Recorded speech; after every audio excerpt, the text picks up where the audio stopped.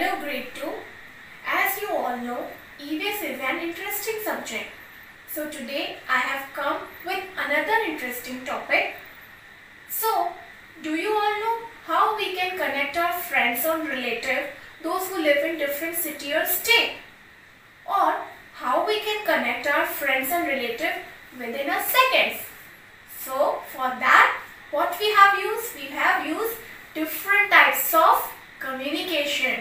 So our today's topic is means of communication. Let's see different types of communication. First, letter means of communication. Second, telephone. Then, email. This is television. This is radio, another means of mass communication. Last but not least, mobile phones, fastest means of communication. Let's see more about means of communication. Means of communication. How we communicate? We all love to talk, but we can talk to someone standing next to us or nearby. We can shout out a message to someone standing at a little distance from us. In olden days, pigeons were used message carriers. People as messengers would run for long distance to deliver messages from one person to another. Nowadays, how do we talk to someone who is very far away? How do we talk to someone who is in another city or country? We can communicate or talk to someone by means of letters, fax. As you all can see, there is fax machine. Telephone is a mass communication as well as mobile phone, telegram. As you all can see, telegram,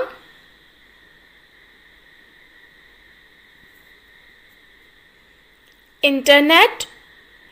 These are all means of communication. We can buy inland letters, letters we used outside the country from local post office. We need to put a stamp on envelopes before we post letter. We drop letters and envelopes into the letter or post box.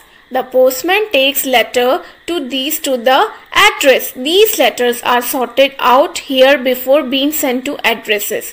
Do not forget to mention the pin code when you write the address. A pin code makes it easier for the letter to reach the correct address. Telegrams can be sent from the post office. They are urgent message.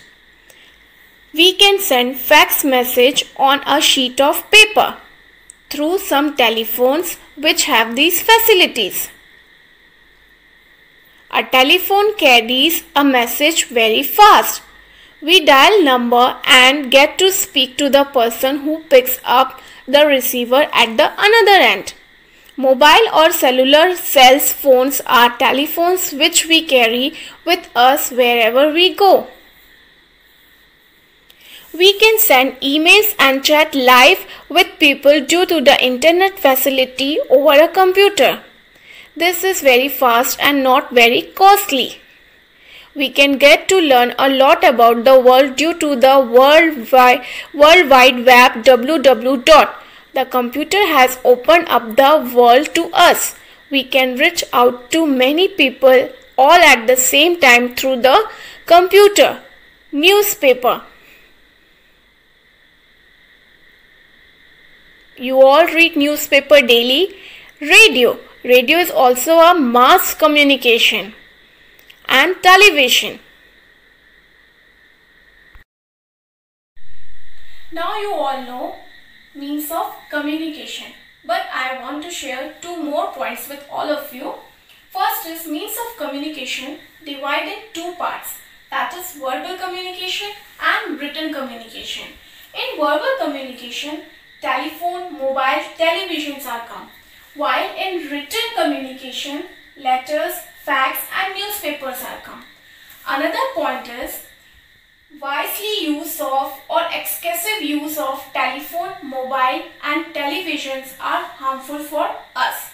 We always use these gadgets or means of communication wisely. I hope you all enjoy the means of communication. Till then, bye. Sayonara.